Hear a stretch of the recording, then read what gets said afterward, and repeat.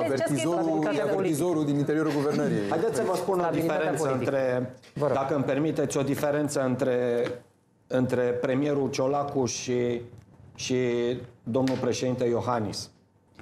Premierul Ciolacu Dar domnul s-a Iohannis luptat... nu, nu e s-a- contracandidatul Bun, dânsului, E să în știți. regulă. Deci Vă rog. eu vreau să spun chestiunea asta, după care Da. trageți dumneavoastră concluziile.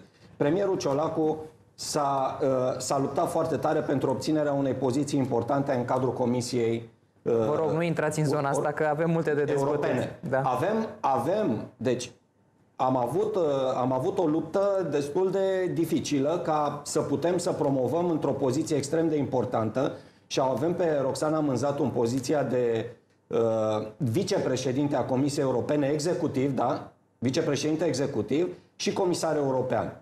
Pe când domnul Iohannis încearcă din răsputeri, încerca din răsputeri să-și găsească o poziție în Senat, făcând în așa fel încât să se promoveze o lege în favoarea domniei sale. Este foarte bine și mă bucur teribil de mult pentru că a avut verticalitatea și bărbăția de a renunța la acest lucru pentru că și-a dat seama unde duce Partidul Național Liberal insistând coleg. în chestiunea asta. Două observații. În primul rând, contracandidatul domnului Ciolacu este domnul Ciucă. Și dacă nu vorbim vreți, de, haideți nu să vorbeam facem de o comparație. Pe contracandidați. Dumneavoastră ați făcut o comparație. Vorbeam de, În al vorbeam doilea de, rând, o, de o chestiune Sunt de acord de... cu dumneavoastră că doamna Mânzatu este un, uh, cum să spun, un om politic care putea fi promovat și îndeplinește toate criteriile. O cunosc și eu foarte bine. Culmea este chiar nu avem aici dubii. în emisiune. Nu avem dubii. Pe de altă în parte, emisiunea însă, dumneavoastră am anunțat-o pe doamna Dați-mi Mânzatu voie, ca e fiind... de la Brașov, de la noastră știu. Dar din alt punct de vedere, dați-mi voie să nu fiu de acord cu dumneavoastră. Poziția pe care o avem nu este o poziție de substanță. Com, uh, și nu spun că e vina domnului Ciolacu. Vicepreședintele executiv Eu al cred. Comisiei Europene Uite, vă dau un, sunt vă- șase persoane. Vă spun ceva. Trei Eu, eu executivi, cred că trei dacă neexecutivi. în, în această luptă clasa politică era ceva mai unită și Partidul Național Liberal și domnul Ciucă și toți erau